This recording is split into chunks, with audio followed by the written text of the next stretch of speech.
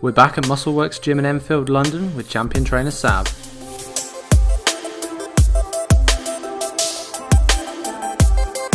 You know, if you've got shallow rib cage and long arms and narrow shoulders, bench press is probably the worst exercise to do. Today's focus is on exercises that you should avoid or to always include depending on your body type. So a squat exercise for this type of physique is perfect.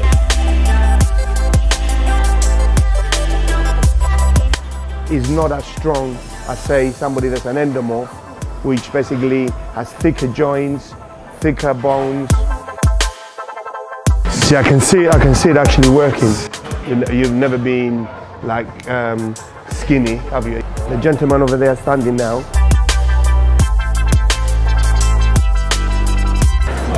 I'm to ask you a question now. Why did you do so many reps? Ectomorph people shouldn't really do too much heavy squats.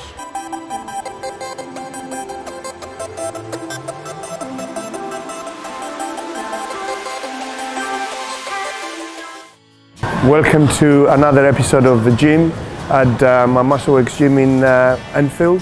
Today we're going to talk about body types and uh, each body type requires slightly different exercises uh, to achieve the maximum muscle growth.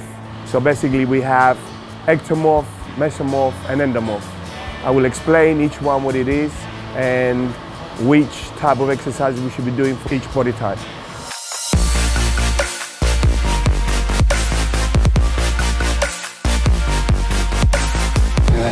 You're training legs, yeah? Yep. Okay, come out, come out so I can show you. Basically, we're talking about different body types mm -hmm. that require slightly different type of training, certain exercises. If you're a, a, certain body type, you shouldn't do or you should do. I mean, for you, you're probably the perfect, what I would call mesomorph, which means you have wide shoulders, narrow hips, the balance between your torso and your legs, the, the length of the tibia and the fibia are equal. So that creates, I mean, now he's doing legs, so a squat exercise for this type of physique is perfect. The only problem with mesomorphs is that maybe the hip area, because it's narrower, they have to be careful not to overdo the weight because the back is not as strong as say somebody that's an endomorph. You're doing legs, yeah, do a set of squats for me, the way you do it.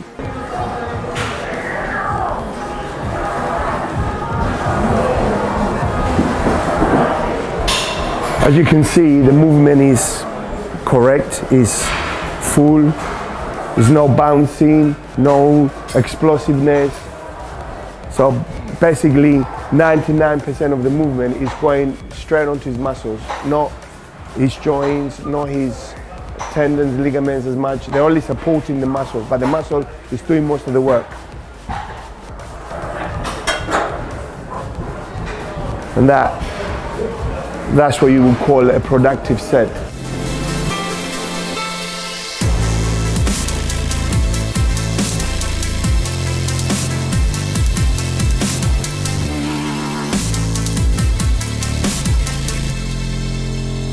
They have physiques that have both types of, of, of that within it.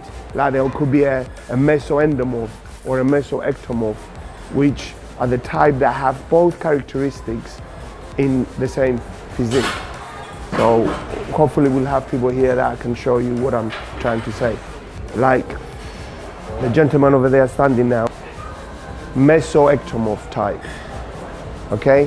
Which means it's got quite a slim structure, but his shoulders are not as narrow as they should be for an ectomorph, and he's not as tall, but the characteristics are the between the two. What are you training now? Okay, can we follow you and see what you're doing and we'll see how you do the will talk, okay?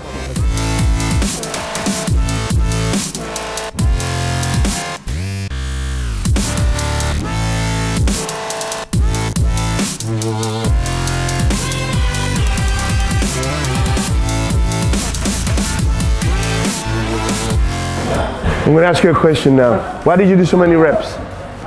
Um, due to a shoulder injury. I'm just Okay. getting a pump at the moment. If you have a shoulder injury, I'm going to give you an advice. Okay. Actually, the press behind leg exercise should be made illegal. Yeah, Yes. because I heard that a lot. no, because it's not a natural movement for the way our shoulders are built. Yeah, And because the problem we have is the actual shoulder movement, the, the press movement is not the problem. The problem is your head is in the way. yeah, So because you're using a bar, yeah, you have to move forward, which means you're, you're and because you're doing the movement full as well, which is good, you the way your socket, the shoulder socket is in there, is not a natural movement, and you probably a lot of injuries have happened, and a lot more injuries will be happening from press behind neck if people did it properly. But that exercise should never be done. It should be done to the front if you have to do it, which is more natural for the socket of our shoulders. But in, in true terms, it should be done with the dumbbells because our head is in the way. So if you have a shoulder problem, don't even go near that exercise. Okay? All right, going back to the ectomorphs and mesomorphs and the combination of the two, which this, my friend here is, he said, okay, two reasons. The, always, the legs of a, of a, sorry, don't mind me touching you. The size of the legs as well are always slimmer on somebody that's an ectomorph. Usually ectomorph people are, I mean really I should get you to take strip off and I can do it, but we don't want to do that. okay, usually they have a, a, they're taller, they have a, a longer face, narrow shoulders, long arms, long legs, and not so long torso. Okay? But because you are in between, you are a meso ecto, you got the benefit of your shoulders are not as narrow as they should be, you're, you're not as tall, but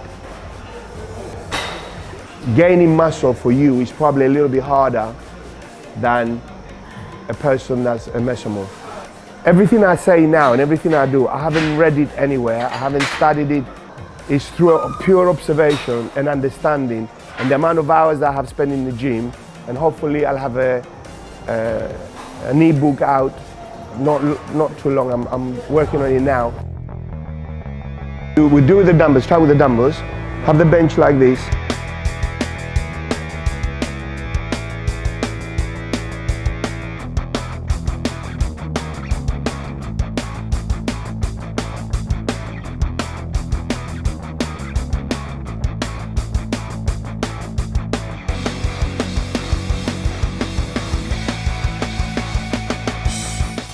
How did that feel?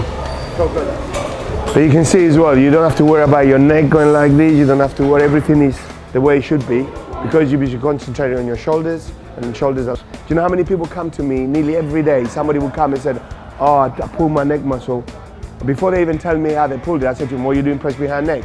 And the answer is yes. And that is problem. It's happened to me. I've done everything I say about people doing things wrong, I have done it myself.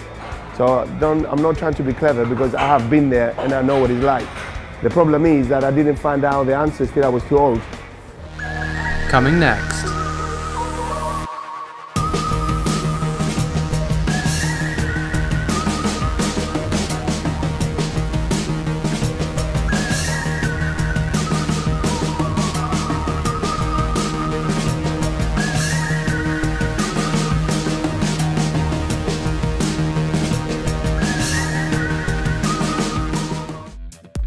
Time for Norateen Heavyweight 2.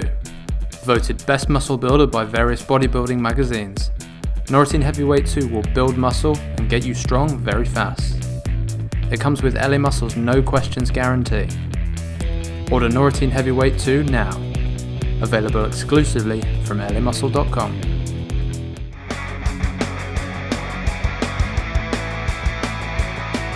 Hi, Chris. You're doing legs, yeah? Yeah. Okay. Here we have Chris. Chris is an ectomorph.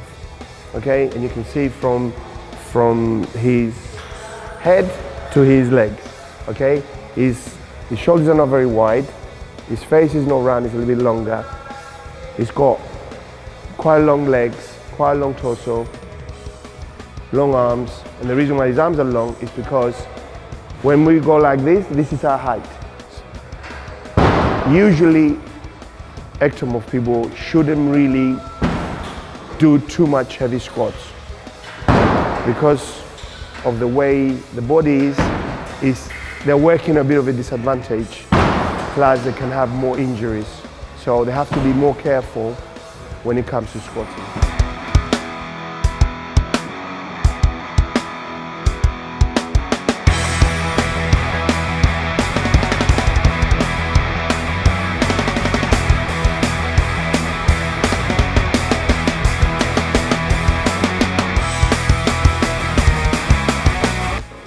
And you can see it from your buttocks. Your buttocks are well developed.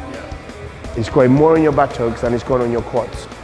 For you, really, I would only squat for my buttocks.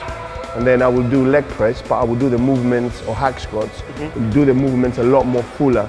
Make sure that you are coming a lot, lot lower. You know, um, because you wasn't even going parallel. I don't, I don't agree with people going below parallel when they're doing squats because of the way the knee, the knee works. That's another issue.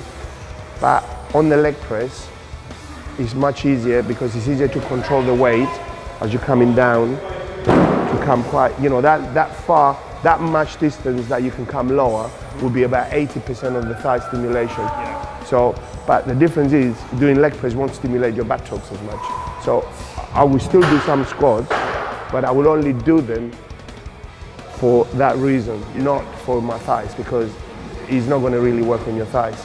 And you can see most ectomorph people, um, they get involved in different sports as well. In long distance running, long jump, high jump, all that, because they find it easier to do that because of their body structure. And for building muscle is much harder.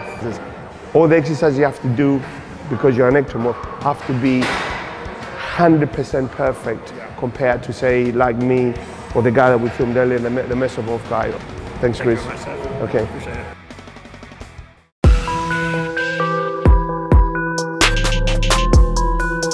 Because they think the heavier the weights, the bigger the muscles they're going to get. If that was true, then everybody in this gym would be massive. You are what's called a mesoendomorph. You- You've never been like um, skinny, have you, in your life? No. You put on muscle quite easily, okay? The movements that you're doing, the exercises are, because of your leverages are good, it's easier to put on muscle. Like Herculean type physique, that's what I could put it. So you have to be careful um, not to do too many deadlifts, not to do too much abdominal work, because those muscles have the tendency to grow easier. So you have to be careful not to stimulate them as much because they will grow. And you don't want your, your waist to become too thick. I'm not, I'm not talking about fat now, I'm talking about muscle because it takes away from your shoulders uh, the, the balance, you know, the, the aesthetic type of look. Um, the other problem people have when them, they have their, their back is the lats are quite high. So if you turn around, you see, you can see you have quite development on your lats, but the muscle ends here. It's not low. So it's harder for you. So you have to be careful as well when you're doing back exercises. You're doing exercises that stimulate the lower lats more, which means putting them in the bracket, those exercises will be anything that you do that's narrow grip. Usually anything that's narrow grip and to the waist and your elbows go back that way will hit your lower lats more. Contrary to the anything that is wide grip and it's overhead and you pull it, that will hit more your upper lats or bend over rows or things like that. So for you, I would recommend you do more narrow grip exercises for your back. And don't worry too much about your upper lats because they will develop anyway. I wouldn't recommend you doing deadlifts. I recommend you doing hyperextension so it only hits your lumbar region. And limit your abdominal core exercises to quite a, a minimum amount. Not do some, but don't overdo it. This is what you're gonna do.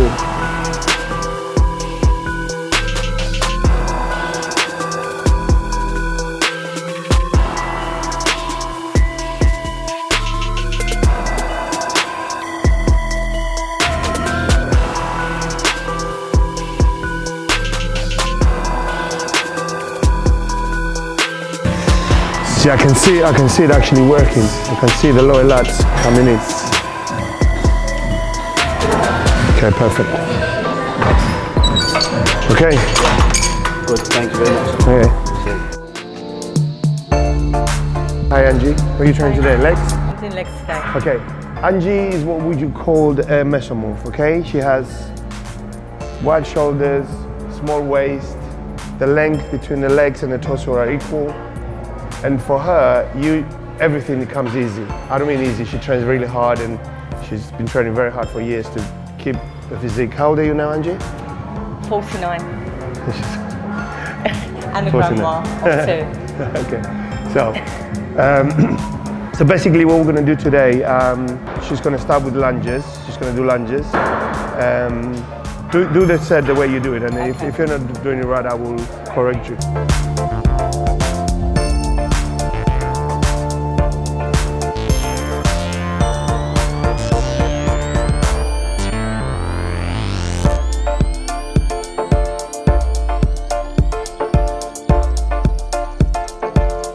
Tell me exactly now, where do you feel the stimulation? What, what part of your legs, your bum, what, what do you feel it? More on my quads and more on my glutes. You feel it, yeah, on your quads and your glutes. See, most people that are not your type of physique, say if they were ectomorph or maybe even endomorph, they wouldn't have been feeling, they would have been either been feeling their quads more. And less buttocks and maybe not at all, or the other way around. Yeah. But for you, because of your type of physique and because of your leverages, you're feeling it on both. On Because- my, on my quads. Because yep, um, you gotta what you gotta do is if you're not feeling in your buttocks so much, you have you know when you lunge, you lunge a bit more further. More further, So, so your your le- your leg that is back is further back more, and that way you feel it more.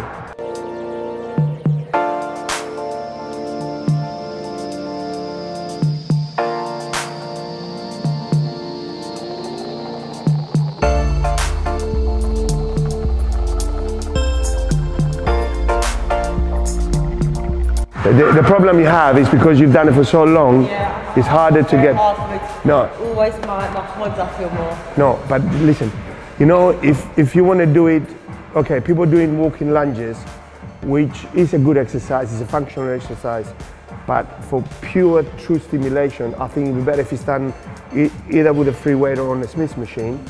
Because you're on the machine and you're balancing better, you can do what I just said easier and get a, a longer Yeah. Um, step, and that way you'll have more on your bum. Um, because the, the thing is, your bum is good, your thighs are good, you, you are stimulating them both. Yeah. But what I notice with you sometimes is that you're doing too many exercises and, and your leg workout is too long. Mm. And I think that sometimes might be holding you back. So you have to adjust the volume of your workout maybe. down a bit. Yeah, because you know you because of your age as well. 50 you know, next year. I know. Don't worry. I'll be 60 next year.